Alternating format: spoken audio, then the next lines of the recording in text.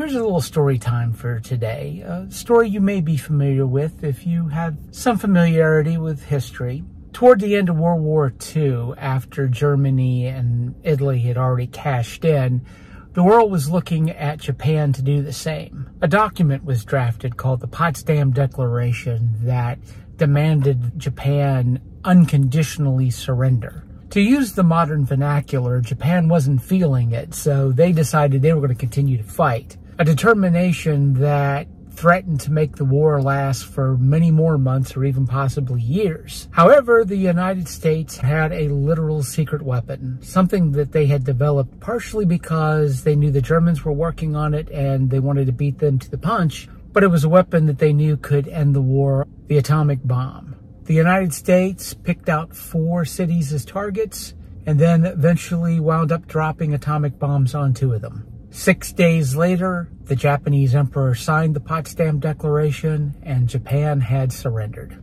And boy, don't we just love a good nuclear option.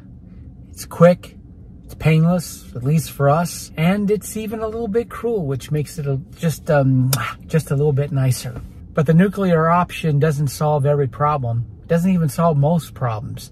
Hell, since World War II, no one's even used a nuclear weapon in a war. But it just seems that whenever we're dealing with a problem, we're always looking for that big answer that'll solve everything. We want to find that pill that'll make us neurotypical, the shot that'll make us lose weight, that relationship that'll finally make us feel something. But the painful, ironic truth is real solutions to problems are contained in little bite-sized, fun-sized little nuggets. Like the old saying goes, how do you eat an elephant?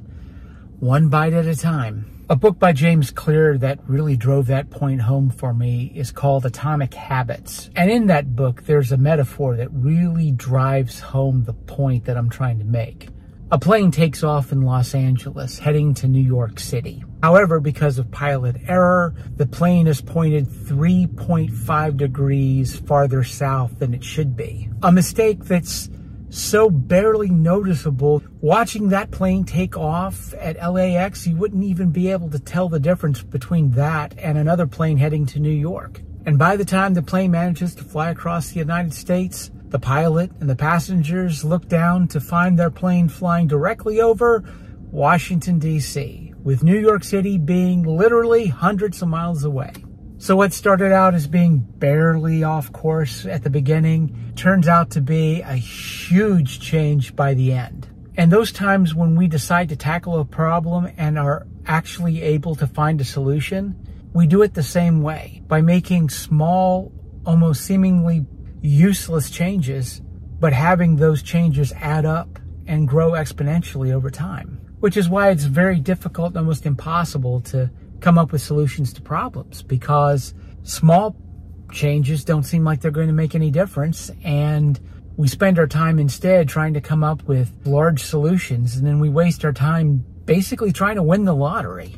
We're simply not patient enough to grow gardens, which is why we spend all our time trying to eat seeds and one of the reasons why I'm a big fan of James Clear's book is that even the title itself illustrates the problems that we have when it comes to making changes in our lives. Atomic Habits sounds like big, powerful change, an explosion that rocks your life and you're never the same again. But what Clear means when he's talking about atomic is he means literally atoms, small units that comprise all of matter, the building blocks, the bricks that make massive skyscrapers.